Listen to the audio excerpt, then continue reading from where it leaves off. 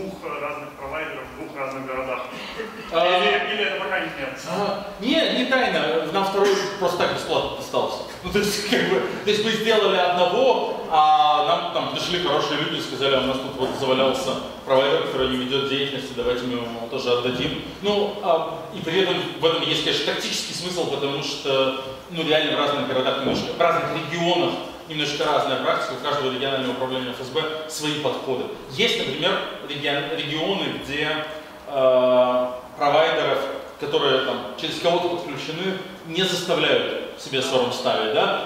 А, вот. Э, ну, мы для этого делаем два аплинка, так сказать, чтобы, э, чтобы, чтобы, чтобы заставили. Но, но в целом э, э, там вот и полезно, в разных регионах практика разная, и полезно иметь так сказать, ноги в разных регионах, чтобы было больше какой-то э, вариабельности. Поэтому мы ужасно обрадовались, когда нам э, эту штуку предложили и за нее.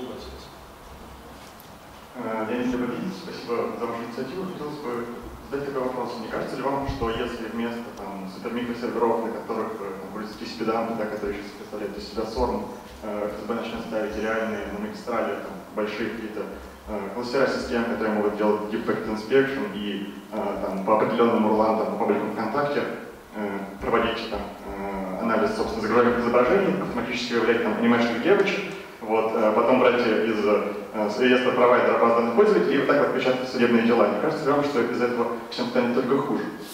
Вот, и, э, собственно, да, продолжая эту мысль, э, мне кажется, ну, вот э, складывается такое впечатление, что э, вы пытаетесь бороться не с причиной, то есть не с самой проблемой, а с ее следствием. То есть не с проблемой э, неправильного закона, а с следствием того, что на этом кто-то зарабатывает. Так, а, ха, отлично. Оба, оба вопроса очень хорошие. Значит, а, а тут как раз вопрос в том, что является причиной, а что следствием. А, как правило, там, мой личный там, политический опыт, какой угодно, там, мое глубокое убеждение, хотя, безусловно, это всего лишь гипотеза и оценочное суждение, но я в это очень сильно верю, заключается как раз в том, что вот экономика здесь абсолютно является там, базисом первопричины. Не а, закон дурацкий и создает возможность для кого-то украсть, а закон такой, чтобы создать возможность для кого-то украсть. То есть его бы не было, если бы, так сказать, за этим не было интересов людей, которые э, пилят деньги на это. Поэтому как раз э, удар по экономическим интересам этих людей мне и представляется борьбой с причиной, а не со следствием. Не закон причина, а экономические интересы. Из экономических интересов возникает закон, а из него уже, так сказать, последствия для всех. Да. Еще раз, ну, окей, возможно, это неверная гипотеза или не всегда верная, но мне она кажется достаточно как консистент, и она подтверждается там, наблюдениями за реальным миром. Вот, что касается, а, не сделаем ли мы хуже, это тоже хороший вопрос, и на него есть два ответа. Ну, первый ответ такой прагматичный, ну а там, денег у них откуда на внедрение вот, там, нового технологичного оборудования в больших объемах и так далее. То есть это им надо будет там, идти и включаться в какую-то конкуренцию за куски там, тающего бюджетного пирога в условиях там, сокращающегося резервного фонда и необходимости строить мост в Крым. Ну пусть еще поборются и подоказывают, что им надо дать денег на DPI. А я на них посмотрю. Там, вот, вот, вот, вот сильно не факт, что там, мост в Крым или предвыборное повышение пенсий проиграют DPI в этой конкуренции именно в условиях, когда там, пирог очень сильно постоянно сокращается, а количество интересантов э, постоянно увеличивается. Это первое. Второе, э, в целом борьба за такие штуки и против таких штук, там, против СОРМа, за свободный интернет, э, кажется правильной, а, потому что это правильный элемент там, политической адженды. Мы всегда говорим, что общество защиты интернета это политическая организация. Мы там не стесняемся этого. Мы не говорим, что мы там, не знаю, техническая или правозащитная или какая. Ну, в общем, политическая организация. И вот э, э, что такое политическая организация? Две минуты, попробую это кратко, кратко сформулировать. Вот политическая повестка, она там в каждой стране, в каждый момент времени она ну, там, состоит из, не знаю, там, 6, 7, 8 вопросов, вот, которые сейчас актуальны. Ну, так не знаю, кто следит за американской политической кампанией, там актуальный вопрос э, там, abortion, gun rights, э, там, gay marriage, там, мексиканцы, э, Кэра, там, ну еще что-то, ну, там 6-7 этих вопросов. Там, в Германии свои 6-7 вопросов, у нас свои 6-7 вопросов. И вот там в развитой конкурентной политической системе есть много-много-много разных акторов, которые борются за то, чтобы там свои вопросы, там, выгодные им, в эту повестку там, внести. Ну, там, National Rifle Association лоббирует, чтобы э, там, вторая поправка всегда была частью политической повестки. Что такое политическая повестка? Любой политик, который там баллотируется, участвует в кампании, любой, от президентской до там, каунти-клерка, должен отвечать на вопрос, как я отношусь к праву на оружие, как я отношусь э, там, к абортам или еще к чему. Так вот, мы боремся как политическая организация за то, чтобы интернет был частью э, политической повестки в России. Не э, давление сыра бульдозерами и не Сирия, а интернет. Вот этих слотов, их вот там типа 6-7. Вот их больше не, не может. Ну да, знаете, там, человек может одновременно держать в уме там 7 плюс-минус 2 объекта. И в условиях дефицита реальных акторов, которые реально формируют политическую повестку, на самом деле там пробиться туда и сделать что-то там важное для нас частью этой политической повестки важно. Вот. А, и то, что мы делаем, это работа на то, чтобы вот, там, обществу навязать политическую дискуссию о том, там, каким должен быть интернет, каким должно быть оно будущее. Потому что мы считаем, что это правильно, чтобы общество об этом задумалось, потому что в конечном счете мы уверены в том, что люди способны там, прийти к правильным выводам, потому что людям в целом нужен хороший, свободный, э, удобный интернет. И любые инициативы в этой сфере, которые привлекают внимание к этой адженде, они на это работают. То есть вот фонд борьбы с коррупцией – это организация, которая работает на то, чтобы тема коррупции не уходила из политической повестки.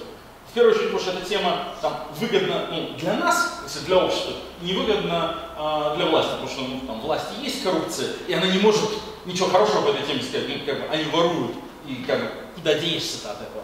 Есть, а обществу э, там, выгодно, наоборот, привлекать к этому внимание и не давать замыкать темам под ковер. Вот интернет такая же тема. То есть мы хотим, чтобы он был свободный, а они хотят его испортить. Поэтому нам выгодно об этом говорить. Ну, а им выгодно, чтобы мы говорили там про там, Сирию и э, санкционный цикл. Вот, вот, вот это политическая борьба, и вот в этом смысл деятельности. Я что-то увлекся, наверное, недалеко ушел, но это важный вопрос.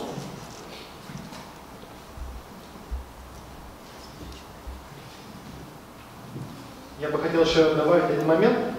На самом деле система, ну как государство, она не ответит усложнением системы.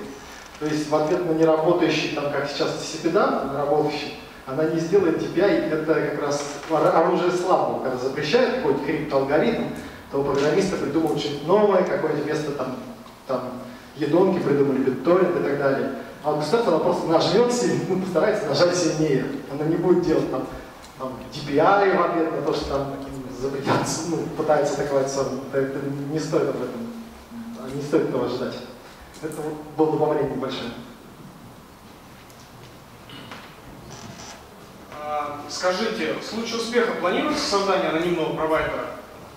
А, в случае успеха успеха, то есть как бы там типа сорм отменят или, или наш провайдер будет из-под него выведен, да, конечно, мы это анонсировали. То есть все, кто нам краудфандил, получат бесплатное обслуживание по жизни, кроме шуток, а что, какие проблемы? Будем, будем предоставлять услуги, почему нет?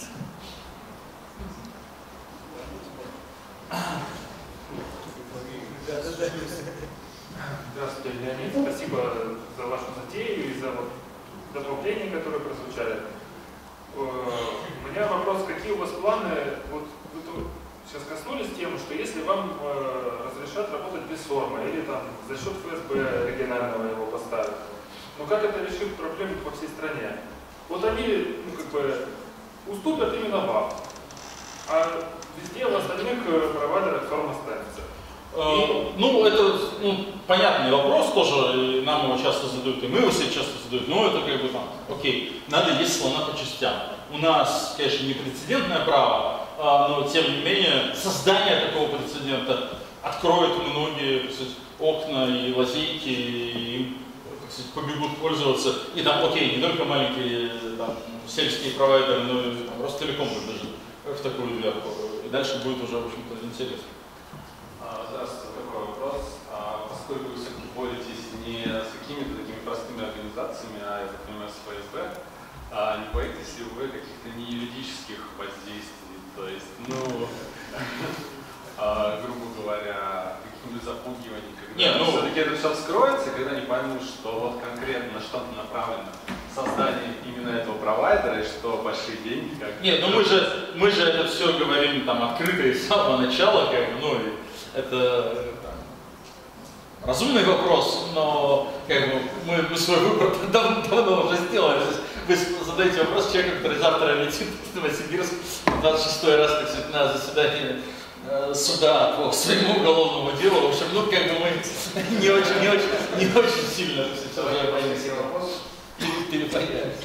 Здравствуйте, вы в своем выступлении упомянули про судебные дела, которые уже были. Да. А работают ли те провайдеры сейчас и чем кончились дела? А, Значит, те провайдеры работают, дела кончились их проигрышем, а, э, в обоих случаях, во второй инстанции. Э, что, э, в одном случае выиграли, в другом проиграли, вторую оба проиграли.